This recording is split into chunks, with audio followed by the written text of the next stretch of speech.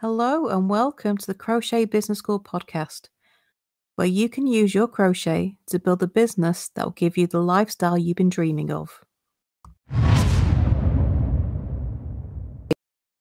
Knowing how to crochet does not mean that you know how to sell crochet. They are two completely different skills. You can be the most fantastic crocheter in the world but unless you know a thing or two about business and how to sell, you're going to have difficulty selling at a price that makes it pay. It's actually relatively simple to sell crochet cheap. But if you sell it cheap, one, you're barely going to get the cost of your yarn back, and two, you're actually going to lose money. You can do that really easily but you can't call yourself a business. A business makes money. If you're losing it, you don't have a business, you have an expensive hobby. Now, hands up, I am completely guilty of this. It's how I started out. I started selling my crochet because I wanted to make a bit of extra cash to help the family finances. And I thought if I just make a few bits, I can sell them and make a bit of extra cash. So I made a few things. I sold a few things. And I thought, because I'm selling, I must be making money, right? Wrong. Completely wrong. And I didn't realize this until I eventually sat down and worked out the numbers. Properly sat down and worked out. I went through receipts, I went through my PayPal account, I went through everything to find out how much money I was actually making. And when I found out, I was horrified. I wanted to cry when I saw the numbers. It was absolutely awful.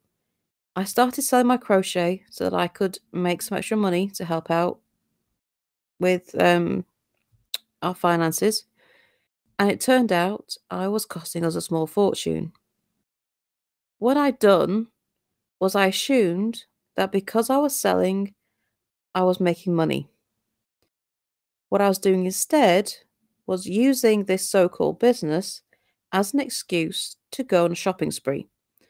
I bought lots of different yarns, thinking that it was a great way to offer my customers variety. I bought loads of accessories like buttons, zips, and whatever else, thinking I can make something really interesting with those and my customers will love it. Half this stuff never got used, the colour variations weren't great, and because I'd bought random balls of yarn, I now had a stash that wasn't very useful for a business because it was all filled with all different kinds of brands and one colour um, yarn, you know, one colour of, of oh, what's the word? A ball of yarn. Oy, sometimes you just can't get the words out but it was filled with random stuff and some stuff that I couldn't get hold of anymore. And so it was a bit useless and I had all this stuff.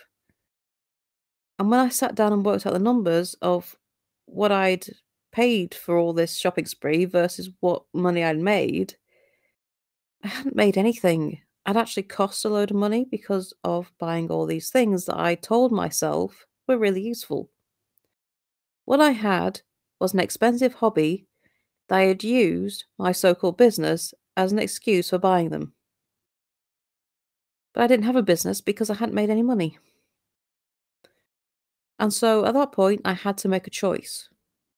I either had to jack it all in and just admit it was a hobby, or learn how business really worked, learn how to sell so that I was going to make the profit I wanted.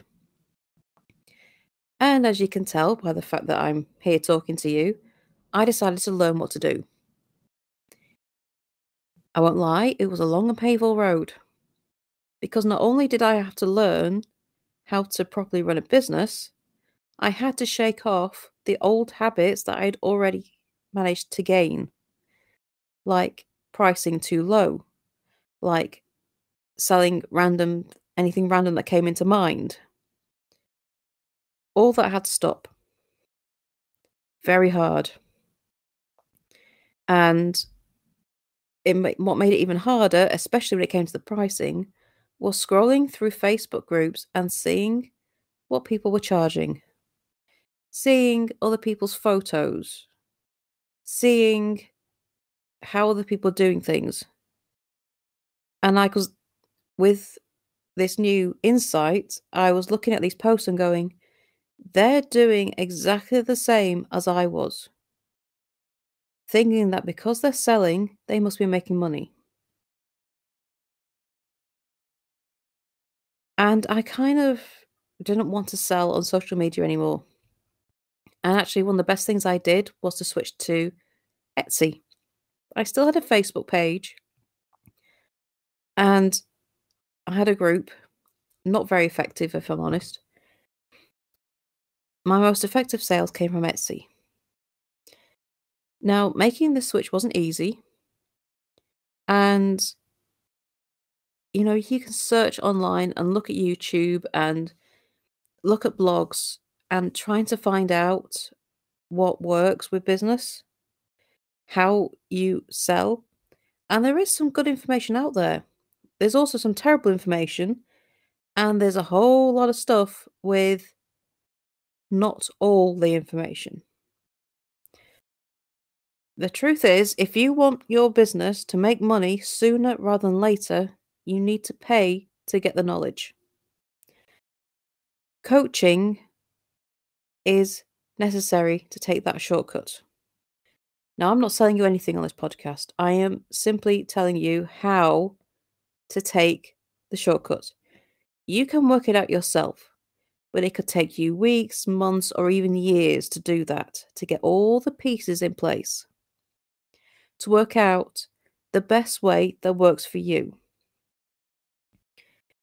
You can buy a class, a workshop, a membership, coaching, and that will take that all that time that you're going to have to go searching for the answers away. It gives you the shortcut so you don't have to figure out all yourself. It gives you time back. It takes away the frustration of working it out. Coaching is a shortcut. And you can get some really good classes for less than £30. Now, you definitely should check out the coach first and what they have to offer, and they will give you snippets. They will have blogs, um, YouTube videos, podcasts. They will have downloads, uh, freebies that you can check out to see if they're any good and if their style suits you. So before you invest in any coach, definitely check out their free stuff to see if it's right for you. Now, I've invested in all kinds of coaching. I've invested in workshops, masterclasses, courses, memberships, the lot. And what I will say is if you get the right coach, it is well worth it. Because that shortcut is gold because it gives you the knowledge you need to make money now, to make your dreams start coming true. That sounds a bit fanciful on the surface, but often it's just one little piece of information that you're missing. Because most of the stuff online they will show they will tell you or show you what you need, why you need it, but the majority of how to do it is hidden behind a paywall. You have to pay to get the how. So the coaching gives you the how. Knowing what you need and why you need it is great. But how to go about it well, you're stuck without that. You can find most of what coaches offer free on the internet. However, one, you need the confidence that it's right. And two, you need to know what you need to know. Sometimes the best part about coaching is that they tell you what you need to know. Because if you don't know what you're searching for, how do you know what you're missing? Coaching is a shortcut.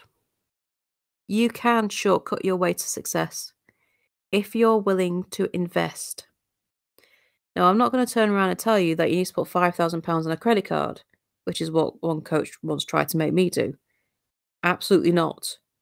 You should not bankrupt yourself to get coaching.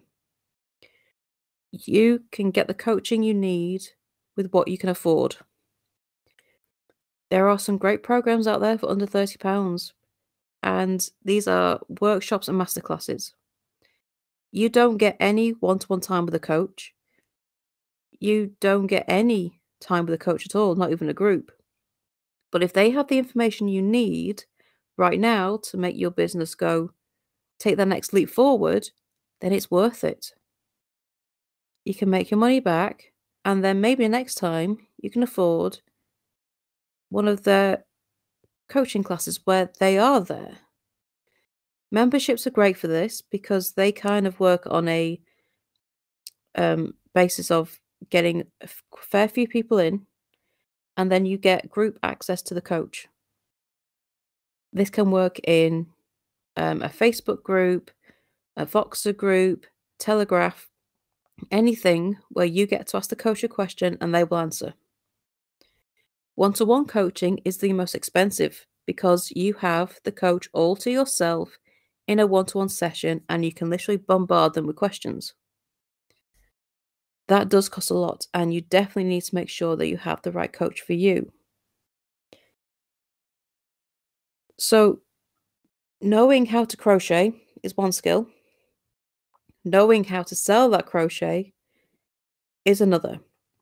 And the knowing how to sell is much more complicating, much more complicated than knowing how to crochet in the first place. Knowing how to sell has so many different parts to it. If you really want to make this work, then at some point you will need to invest in your business. But how you do that and who you choose to do that with is up to you. But definitely do your research to make sure that you have the right coach that fits for you. So I hope that's given you something to think about. And if you have any questions on this, please do come to my Facebook group. The link is in the show notes and we can talk about it more. So thank you for joining me, and I shall see you next time for the next episode. Bye for now.